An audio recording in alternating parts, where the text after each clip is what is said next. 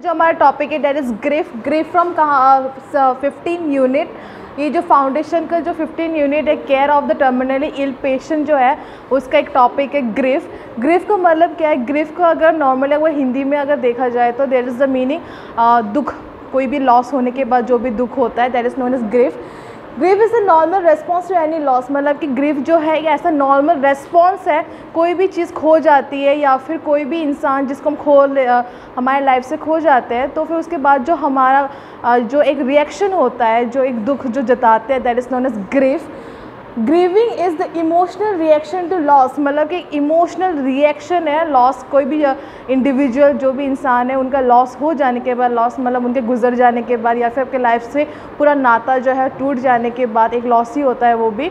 तो वो जो प्रोसेस होती है, जो एक रिएक्शन आता है, एक आउटकम आता है that is the reaction emotional reaction is known as the grief मतलब दुख जताना। तो ग्रीफ जो है, उसके कुछ स्टेजेस जो है there are five stages in grief grief के अलग अलग जो स्टेजेस है, उससे हम पहले डील करते हैं। Stages of grief first stage stage one is denial denial मतलब मना कर देना, मानना ही नहीं है। डिनाइल मतलब कोई भी चीज़ हो, उसको एक्सेप्ट ही नहीं करना, उसको मना ही कर देना है मानना ही नहीं बिल्कुल भी।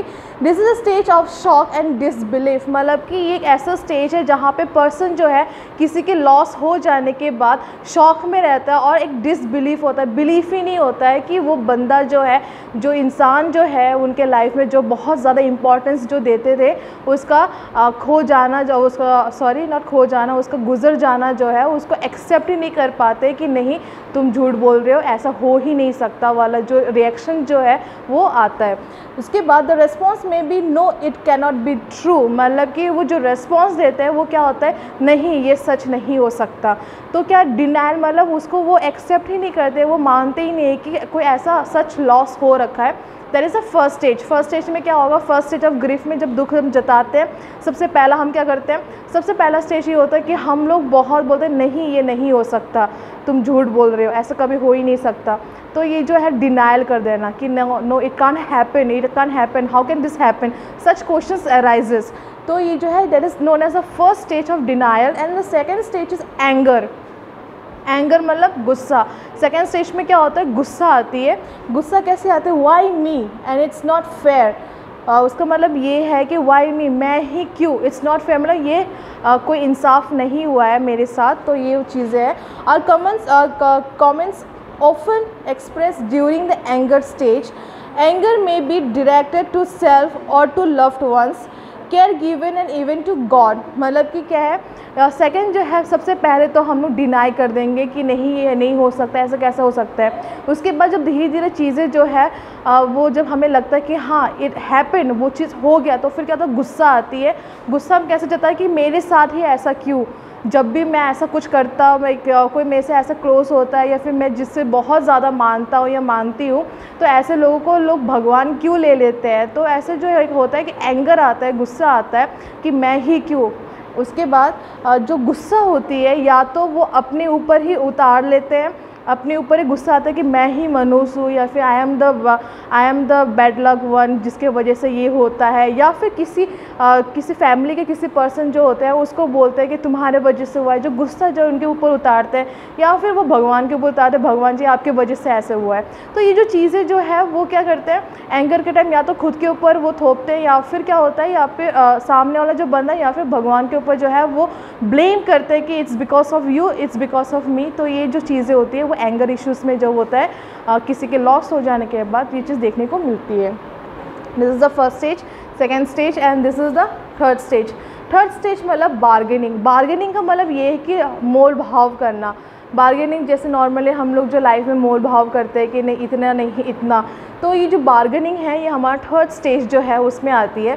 थर्ड स्टेज में क्या होता है? If God will help me through this I promise I will go to church even Sunday and volunteer my time to help to others. मतलब कि अगर भगवान जी, अगर आप मेरा ये बात सुन लोगे तो फिर आप, मैं आपसे एक बार्गेनिंग करना चाहता हूँ। Like they will not say bargaining मतलब आपसे ये ऐसा नहीं बोलते कि हाँ मुझे मोल भाव करना है। हम लोग भी ऐसे करते हैं कि एज ए ह्यूमन भी नॉर्मल लाइफ में होता ही है कि अगर भगवान जी अगर ऐसा कर दोगे तो फिर मैं एवरी संडे चर्च जाऊँगा या फिर एवरी संडे मैं आ, आ, मंदिर जाऊँगा उसके बाद वहाँ पे वॉल्टियर करूँगा मैं ऐसे करूँगा मैं वैसे करूँगा तो ये बार्गेनिंग जो होती है वो चलता रहता है। It is a part of loss जब होती है तो उस लॉस को एक्सेप्ट नहीं कर पाते और उसका अलग ही तौर जो है ढूँढने की कोशिश करते हैं। उसके बाद क्या होता है? During this stage which is generally not visible और evident to others a bargain made with God to reverse और पोस्टपोन द लॉस मतलब कि क्या करते हैं? वैसे ये जो चीज़ें जो है वो दूसरों को दिखता नहीं है वो अपने आप को ही पता होता है। तो इसमें क्या होता है कि आ, भगवान के साथ एक होता है कि हाँ बार्गेन करना कि ऐसा करो वैसा करो पोस्टपोन कर दो या फिर उसको रिवर्स कर दो कि प्लीज़ मैं वैसा गलती नहीं करूँगा। प्लीज़ आप मैं ऐसे ऐसे करूँगा तो उस चीज़ को रिवर्स कर दो। जो लॉस हुआ है, उसको क्या करना है कि उसको वापस भेज दो। तो ये ऐसा क्या होता है? इट्स ऑल साइकोलॉजिकल माइंड ये जब माइंड का ही चीज़ें होती है, जो चलती रहती है।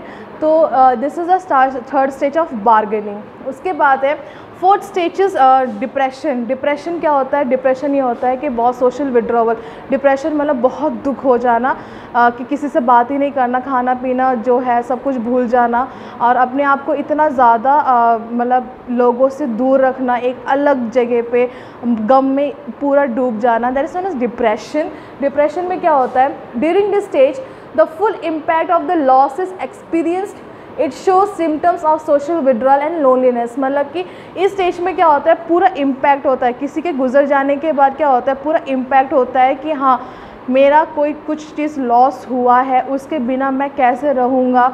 मैं कैसे रहूँगी? Whatever the the reason is उसके बाद मेरा लाइफ जो है आगे कैसे कंटिन्यू होगा? How will be my future how can I spend my time without them तो ऐसे जो चीज़ें मैं, ये सारे सारे अपनी पूरी चीज़ों को मैं कैसे संभाल पाऊँगी? तो ये सारी चीज़ें जो है क्वेश्चन जो है अराइज होते हैं। उसके बाद उनके अंदर एक डर सा रहता है कि अब मैं क्या करूँ? तो ये चीज़ें जो है, उसके बाद लोनलीनेस फील करते हैं, बहुत अकेला फील करते हैं। लोगों से बात करना छोड़ देते हैं। सोशल विड्रॉवल सोशल विड्रॉवल मतलब आसपास जो लोग होते हैं, जो पेरेंट्स हो गए फैमिली मेंबर्स हो गए तो उनसे क्या होता है, उनसे दूर रहते हैं, अपने आप को बंद करते हैं। और उस चीज़ को बस वो लोग रिकैप करते रहते हैं कि ऐसा क्यों ऐसा क्यों।